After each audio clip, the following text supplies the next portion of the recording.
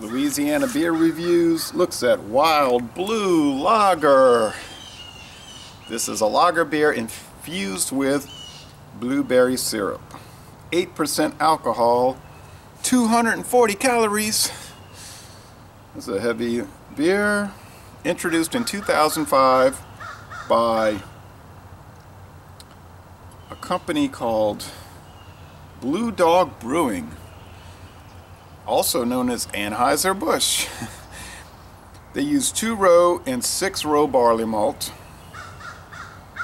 They use Willamette hops from the northwest US and Hallertau hops from Germany. And blueberry, blueberry syrup made from blueberries. And it said it might contain blueberry sediment at the bottom. I bought this at Rouse's in the Gentilly area of New Orleans. Tuesday. No, I'm sorry, Wednesday night. 8 out of 100 on RateBeer, a 31 out of 100 for the style. Beer Advocate says it's awful, and the bros say it's awful. It's interesting, the bros, they, they might review something like this, but then you might look up uh, Ayinger Celebrator. No reviews from the bros, I don't get that. Twist cap, that's convenient. Same style bottle as Budweiser, you could tell. Or natural ice. Same Anheuser-Busch standard brown bottle. Oh, look at all that water vapor coming out. Now says this was produced on July 17, 2014. So they put the date, guys. Look at all that vapor. Holy smokes. I can't stand to drink juice, really.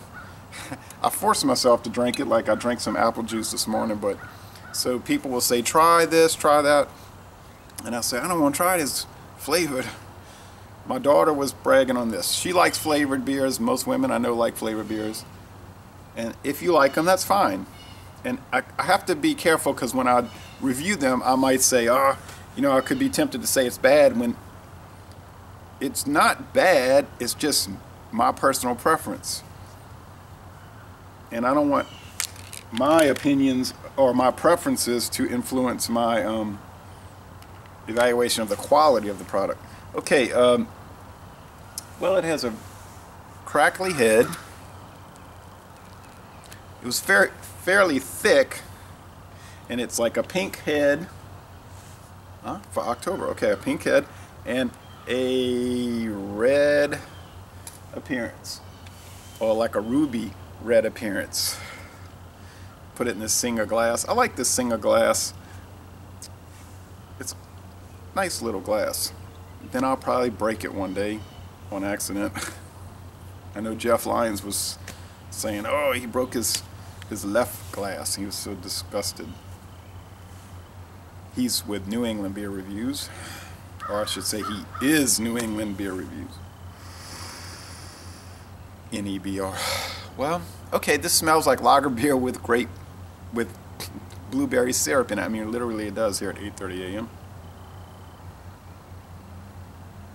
It's got pungent barley malt, just, just the slightest bit of hop resin, and some acidic blueberry uh, juice aroma. Doesn't smell bad. It doesn't smell fake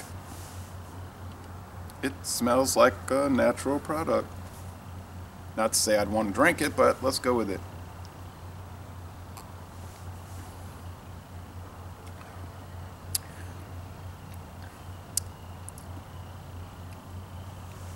Well, it's certainly not awful like they're saying on Beer Advocate. They're saying it's awful, but then they say natural light and natural ice.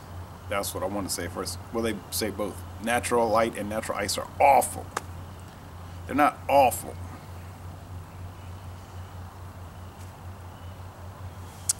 This is not awful. This is not even bad. First, it's very blueberry oriented. I mean, there is the beer, there un, there's the underlying barley malt, okay? Now, I know there's some other flavors in this uh, wild line I think like a raspberry. I didn't look at all of them, but um, they're not really too common around here. I don't know. This whole line might be discontinued soon.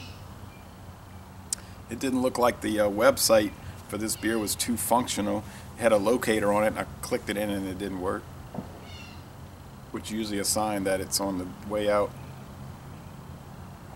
As which, as what happened with Bud Dry four years ago, going on five years. Um, and then you get this fruit coming in, and it's very thick. This is not like a, Abita Purple Haze, which is so light,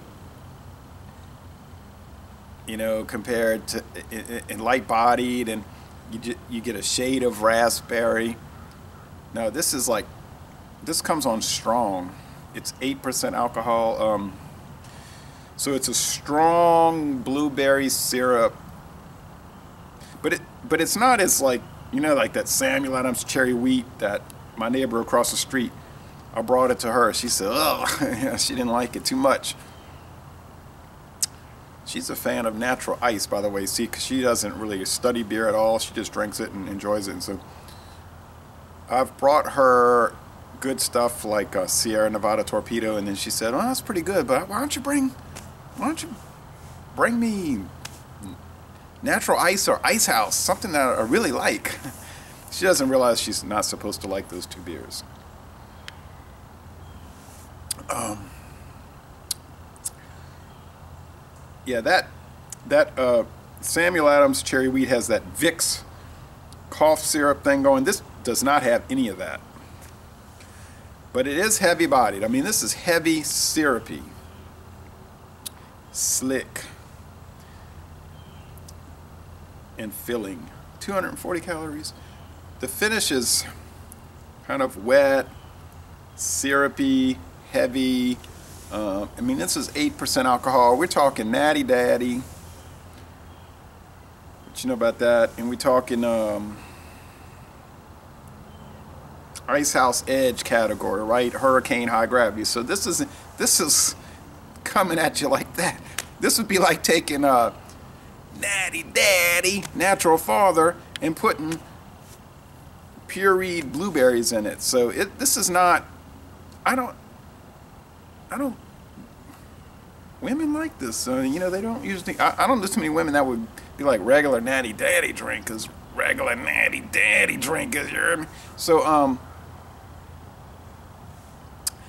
Maybe they have a uh, food pairing on the Anheuser-Busch website with this, so that probably would make sense. This would be a one thing, a one night thing. I mean, I couldn't see drinking a session of this. Maybe one, and then calling it off. I mean, one is enough for me in my life, um,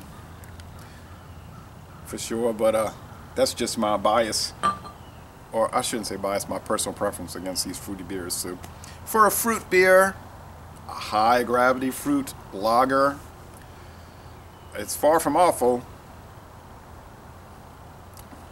It's probably more like excellent. No joke. No joke. I mean, it's this is doing everything correct. I don't know. Somebody firing a gun. Uh, I don't know what the complaint would be. So for beer overall, uh, I don't feel comfortable giving it a score because it's so unusual I don't think it would really um, be fair. But if I did give it a score for beer overall, it wouldn't be a bad score. So, not something I want to drink, but um, well done anyway. So, Laissez Le Bon Temps Roulé, a good uh, concoction. And I'm going to end this review by saying, y'all come, come on down to sunny, dry, and autumnal southeastern Louisiana. Go Tigers, die, oh Miss, die. Just kidding, you know, to my Mississippi fans.